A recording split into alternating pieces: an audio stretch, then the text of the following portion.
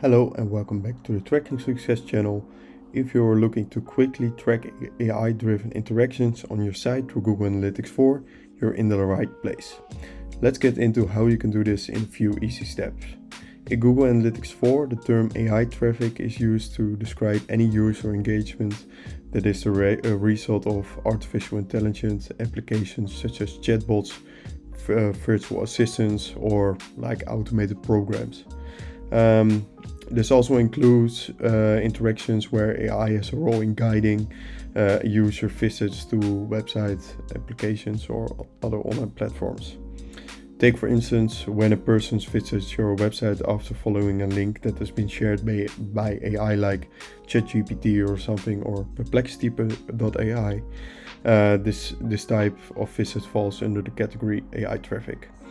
So let's jump, jump in. Uh, the first thing is you will need to log in in your uh, Google Analytics 4.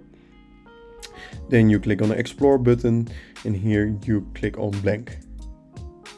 Give your report a name that you can do right here. AI traffic report.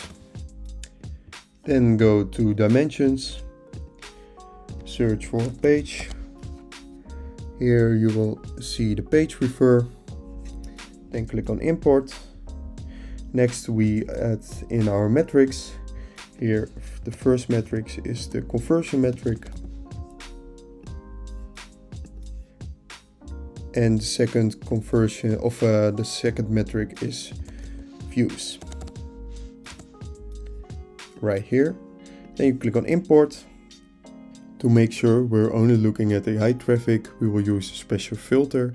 Um, you go to filters, click on the plus, then page refer, select match type, that is matches regex. Then you will have to enter this expression. I will put this uh, expression into the link of uh, into the bio. Then click on apply. And then uh, you will need to click on those dimensions and metrics to make everything active. Here you go then as last one views like this. And here you will see that I have in the last month three views from perplexity.ai that's like the same thing as ChatGPT. So here are uh, some advantages of tracking AI traffic in GA4 uh, it can improve user engagement and you can optimize your marketing uh, strategies because understanding the origin and characters of AI influenced traffic can lead to more effective marketing tactics. Uh, you can use this insights gained from AI to deliver your message to the intended audience at the most uh, opportune moment. This was a video on how to track AI into Google Analytics 4 through a new report.